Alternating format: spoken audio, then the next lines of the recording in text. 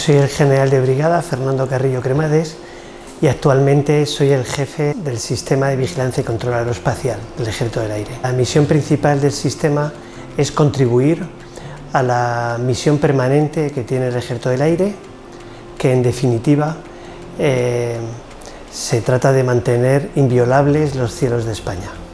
Los ojos del sistema son los escuadrones de vigilancia aérea que están repartidos a lo largo de todo el territorio nacional. Estos eh, radares funcionan 24 eh, horas al día, todos los días del año. Eh, son mantenidos por personal muy especializado y envían sus datos, los datos de los aviones que nos sobrevuelan, los envían a unos centros de mando y control.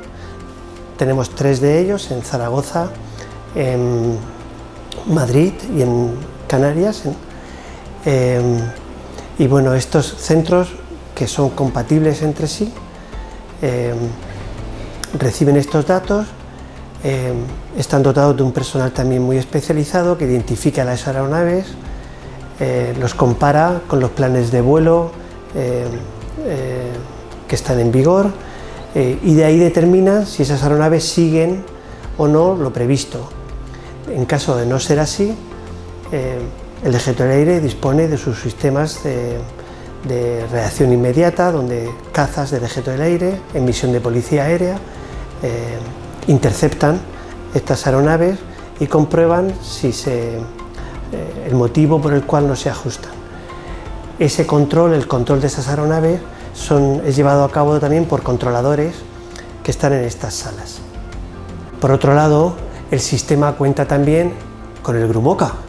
El Grumoca es la unidad que proporciona al sistema la capacidad de despliegue, tanto en el mando y control, con su radar, el radar actual que tiene y otros sistemas de armas modernos que adquirirá próximamente, tanto con esto como los medios de despliegue de comunicaciones y sistemas de información, principalmente en las misiones en el exterior.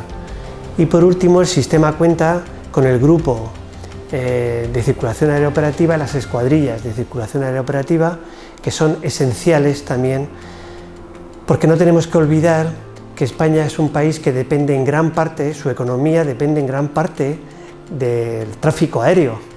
Entonces el hacer compatible las misiones del ejército del aire, tanto misiones reales como en adiestramiento, y hacerlo compatible con el, con el tráfico aéreo civil, esa, coordinación se realiza, eh, se realiza en salas concretas con personal militar y civil que permiten un uso flexible del espacio aéreo y de esta forma eh, poder, eh, poder contribuir a los intereses tanto de la aviación civil como del ejército del aire.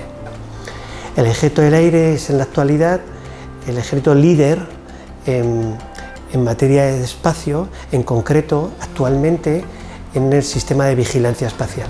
Para eso contamos con un radar de vigilancia espacial que está en Morón, que ya actualmente está en servicio y está proporcionando datos cada día de los eh, elementos en el espacio que nos sobrevuelan.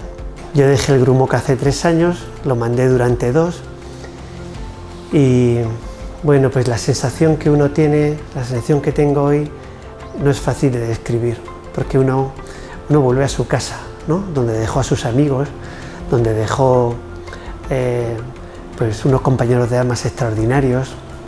Tengo que decir que cuando vine a Grumoca, mi trayectoria profesional no estaba en el mundo del mando y control. Yo venía del área de seguridad y defensa, de operaciones especiales. Entonces aquí fue donde vi mis primeros pasos en este, en este extraordinario mundo ¿no? del mando y control aéreo. Y eso lo di de la mano pues, del personal de Grumoca, que me llevó, me enseñó con paciencia, me introdujo y claro, mis recuerdos son todos recuerdos fantásticos, ¿no? de personas muy entregadas, muy comprometidas. Eh, yo les suelo decir que son como héroes anónimos que dejan su día a día, se dejan la piel cada día por la unidad. Gente fantástica, dos años extraordinarios de mi vida, que ahora me reencuentro con ellos, con un buen número de amigos en los que eh, establecí unos lazos de amistad que duran en el tiempo.